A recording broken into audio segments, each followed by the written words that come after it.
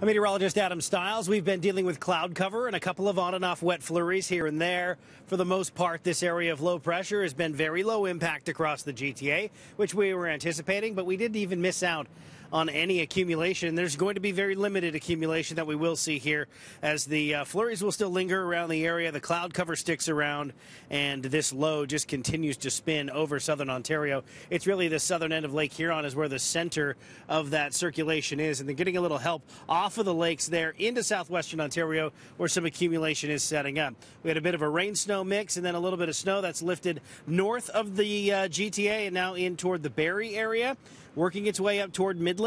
So we're going to continue to deal with a little bit of light flurry activity as we go through the night. The big story, though, is that nor'easter that's set up. You can see in through New York and all the way up in toward Boston.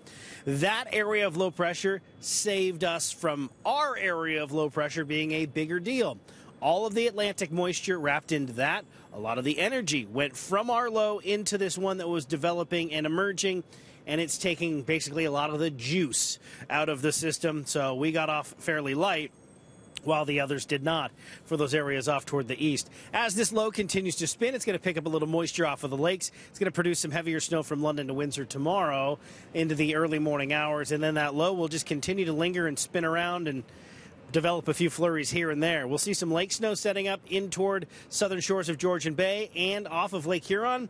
And that's going to produce a little accumulation in that five centimeter range for those areas uh, up toward Grey Bruce. Three degrees below the freezing mark to start. One degree by midday.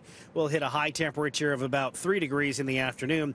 We'll have a southwest wind. That's why it'll be a little bit warmer here than anywhere else. Temperatures will be near three degrees on Friday as well with a cloudy sky. As we head into the weekend, remember we spring forward as daylight saving time kicking into effect. We're looking at uh, temperatures near 3 to 4 degrees. Keeping an eye on some snow Monday evening. It should be gone by Tuesday, but that has the potential of putting down a little accumulation for us, something we'll continue to watch, and temperatures are pretty close to the seasonal mark over the next seven days.